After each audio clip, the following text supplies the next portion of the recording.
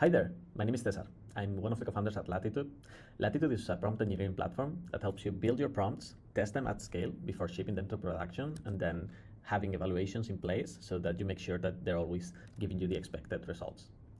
Um, this is going to be a quick overview of the product, so I'm not going to go into too much detail, uh, and I'm going to show you more or less what the workflow looks like. So right here, I have a Latitude project open. As you can see, all projects are version controlled. So that means you can keep track of all the different versions of your prompts and you can always make sure you know exactly what's in production. In this project, we have a single prompt. What this prompt does is it takes a survey response from an NPS survey we have in the product, um, takes the score from the user, takes the message, which is usually feedback, and it tries to categorize the sentiment in one of these categories. I can test out the prompt right here with the inputs. So for example, if I say 8, and in the message, the product looks great, and then I run my prompt, you'll see that it compiles the prompt with the parameters that I set here, and then it gives me a response. But now, how do I make sure that this prompt is working as expected in many other cases? I can manually test one by one, or I can run a batch evaluation on top of this. Evaluations are separate prompts that test the output of the prompts you have in production. Let's see what that looks like. Let's go to the evaluation section. And here I already have a evaluation created, which is the NPS categorization review.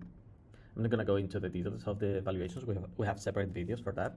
Um, what you need to know here is that you can track the results of the evaluation over time. You can compare different versions. In this case, I only have one, so that's why you only see one dot here. Uh, but here you, you'll be able to see all the different versions you have. And then we also show you a bunch of metrics about it. You can go into the details of each specific evaluation, but for this video, I think it's worth it to run a batch evaluation to see what that looks like. So let's hit the button. It's going to ask you for a data set. This is just a dataset with parameters that are going to be fed into your prompt to build all the different versions that are going to be tested. So let's pick the NPS synthetic dataset we have here. I'm not going to include all the lines. Let's do maybe 20.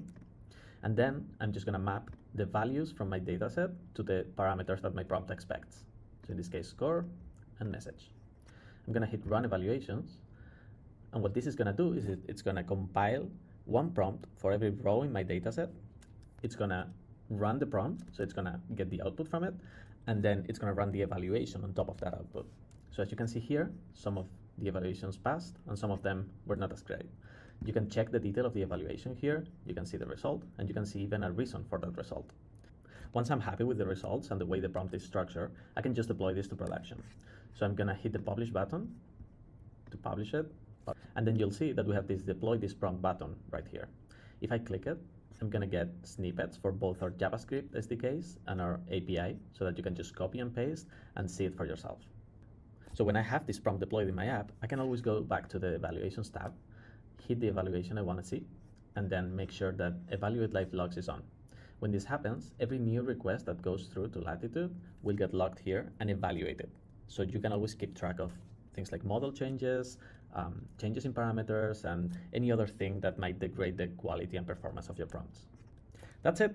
If you want to try it out, you can go to latitude.so and sign up for free. Thank you for watching.